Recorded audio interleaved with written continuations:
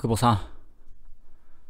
やってみないとわかんないですよね 今日ね、あの、メンバーシップ、審査受かって、なんか特典のしんなんかメンバーシップできますよっていう案内は来てたんだけど、去年ですね。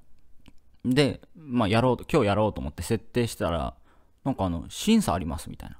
特典のね。えっと、え？みたいな。でも一応24時間以内に回答しますみたいな。で、朝やってたんですよ。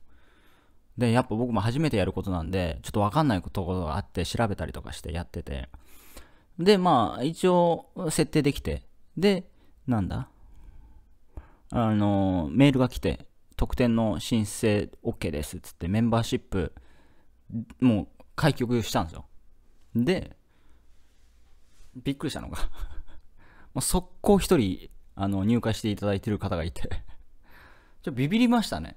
何の告知もしてない。まあ告知というか、まあ番宣でも、しかもね、それ金麦研究所っていうね、一緒に酒飲もうぜっていうやつなんですけど ね、儲かる方法とかじゃないですよ。ね、一緒に酒飲みましょうっていうメンバーシップなんですけど。いやー、ありがたいですね。うん。まあこれからバンバン告知、まあ告知動画も撮ったんですけど。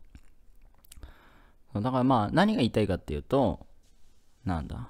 新しいことにどんどん挑戦しないと、何も見えないよって話ですね。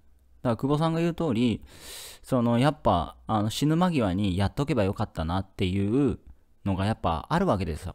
かなり。まあこれ看護婦さん、なんかね、ネットにも載ってるんですけど、看護婦さんとか死、死と向き合うお仕事じゃないですか。で、やっぱその患者の人がそそういうふうに言うみたいですよね。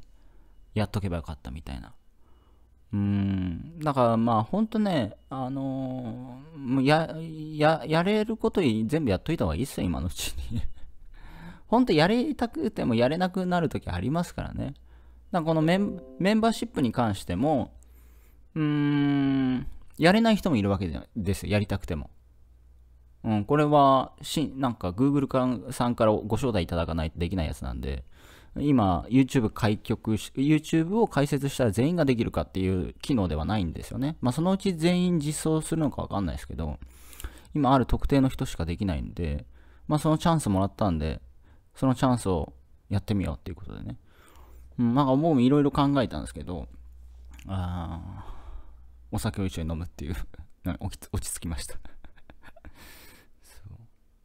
そうまあ、やらないとわかんないし、やっでも、やったから、まあ今日、もうすぐやってね。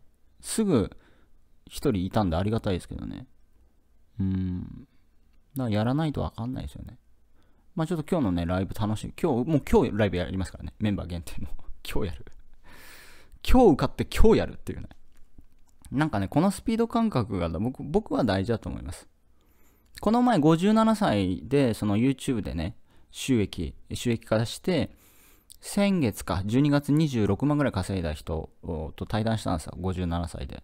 で、その方もあ言ってましたけど、やっぱその、やらない方がリスクあるよねっていうか、まあ無料でできるわけですから。うん。まあこれがね、その、普通の事業とかであるならば、お店構えるのに何百万必要とか何千万必要とかなるわけじゃないですか。一切不要ですからね。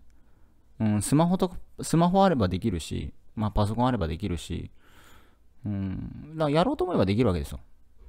うん。で、しかも、うん、やろうと思えばできる環境もあるし、デバイスもあるんだけど、一番立ちが悪いのが、やろうと思ってるけどやらない。